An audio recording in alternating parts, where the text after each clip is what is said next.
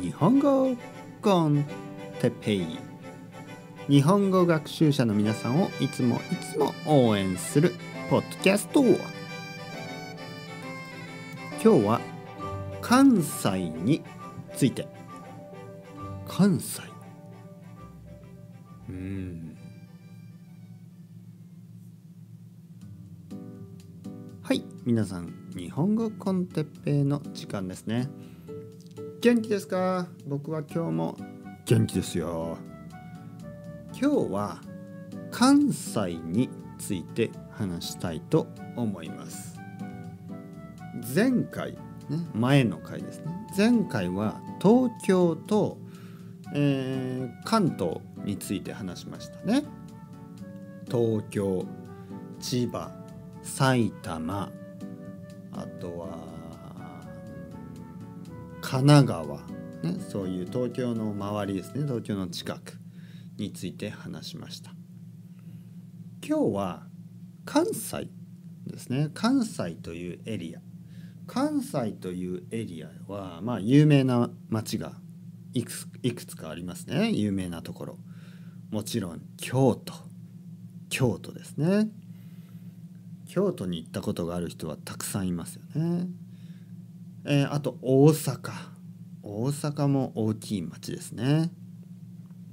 そして神戸ね神戸神戸があるのは兵庫県という場所ですね。神戸。え他にもですね、えー関西は、まあ、奈良とかねまあ滋賀とかえー多分三重和歌山とかも関西ですよね。まあ僕はね実はあんまり関西について詳しくないです。詳しくないというのはよく知らないということです。よくわからないということですね。僕は関西についてあまり知らないです。えー僕は京都に行ったことがあります。大阪も行ったことがあります。神戸も行ったことがあります。